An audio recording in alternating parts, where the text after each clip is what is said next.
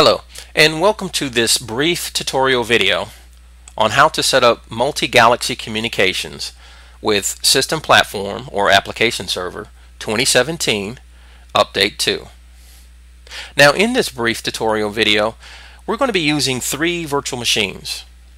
Two virtual machines will be uh, set up as GR nodes with a deployed galaxy on each.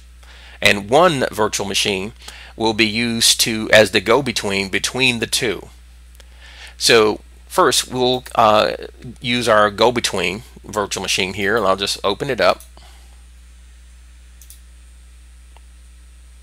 Now the first thing that we need to do is open up the IDE and connect to the primary galaxy or the galaxy that we will designate as our primary.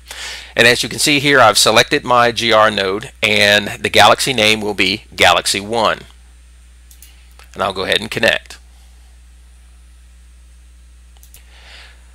Now once I've opened up the IDE I will go up to the Galaxy menu option come on down to configure and select service discovery now in the service discovery, the only thing is what I need to configure is the cross galaxy server.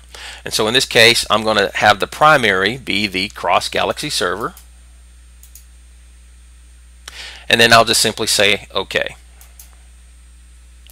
The next thing that I'll need to uh, configure is go to Galaxy, configure, and we're going to uh, configure the multi-galaxy functions. And we're going to enable remote pairing and we're going to come up with a uh, security passphrase. So I'll just say connection with special characters.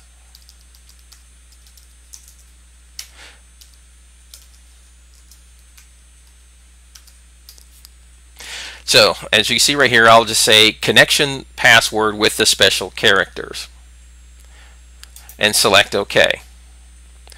So I get the informational message saying that I can now pair uh, with another uh, GR.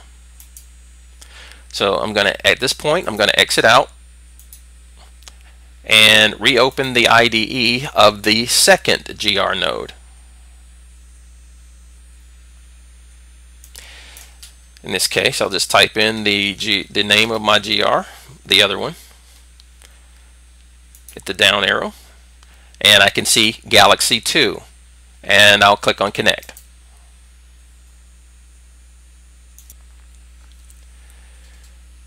Now once I'm inside of the IDE I will go up to Galaxy configure. And in this case right here I'm going to select multi-galaxy. Okay? Now once I've selected multi-galaxy all right I'm just simply going to click on the plus sign. And I'm going to put in the uh, the target galaxy galaxy repository node. In this case it would be SP 2017 UP2 and I'm going to put in my passphrase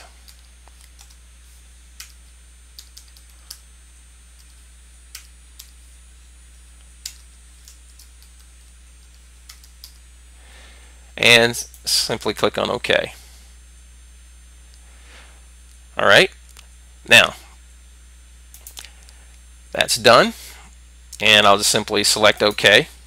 Now if I want to check and I want to change the uh, cross-reference or the cross-galaxy uh, server I can change that here. Uh, but in this case I'll just simply go with the defaults. Alright, now we've paired our galaxies.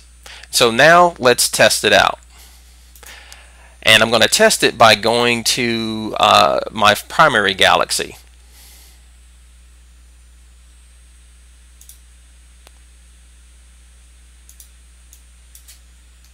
So I'll put type it in 17 P2 hit the down arrow and that should give us our galaxy and click on connect Now, once we're inside of the uh, primary galaxy, I'm going to test this out. I'm going to import an object that I previously exported.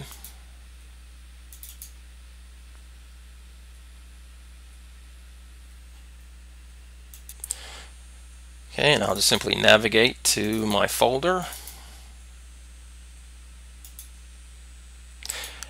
and perform the uh, import.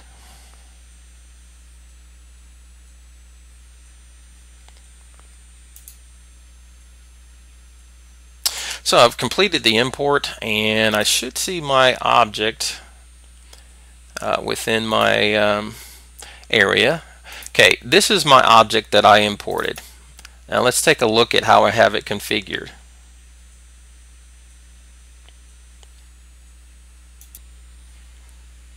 Now, as you can see uh, from my open object, I, I call it Galaxy2 underscore PLC Sim.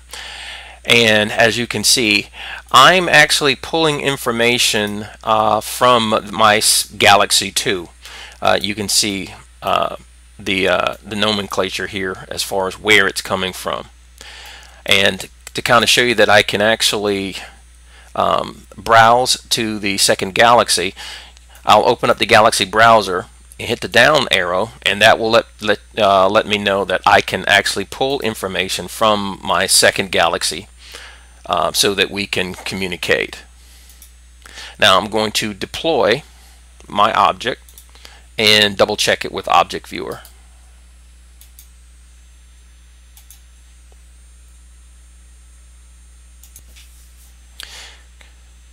Okay, once that's done, I'll just simply right click and open it the open it in Object Viewer.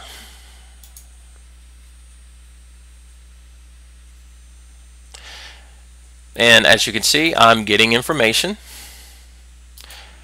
And I'm going to open up a watch window.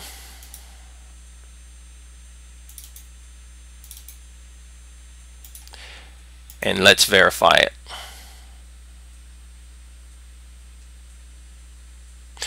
Okay, so we can see we're getting actual data and let's see where the input sources are coming from. And as you can see, it's coming from my second galaxy. So that concludes this video on how to set up multi-galaxy communications with System Platform or App Server 2017 Update 2. Thank you.